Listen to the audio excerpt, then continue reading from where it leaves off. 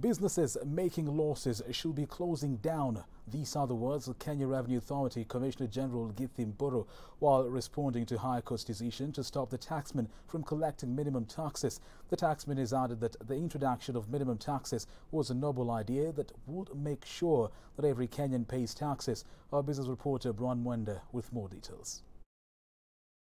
Kenya Revenue Authority has defended the introduction of minimum taxes that seek to collect a tax at the rate of 1% of the gross turnover on loss-making businesses.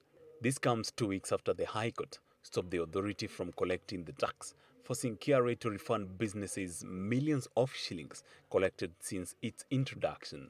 With a number of loss-making businesses complaining about the newly introduced tax, the taxman is of the thought that these businesses should instead close down.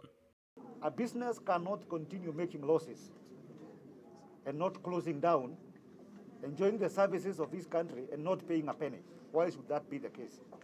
While a person pay, earning a salary of 20, uh, maybe 30,000 shillings is paying taxes, a business continues to make losses, it doesn't close down, Somebody says it is eating into capital. When you eat into your capital, you close down.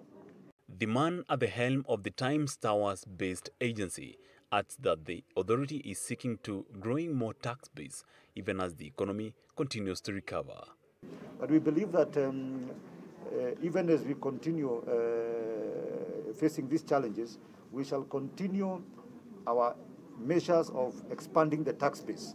Now, even as KRA looks into a more optimistic future, the message from the taxman is embrace for more taxes.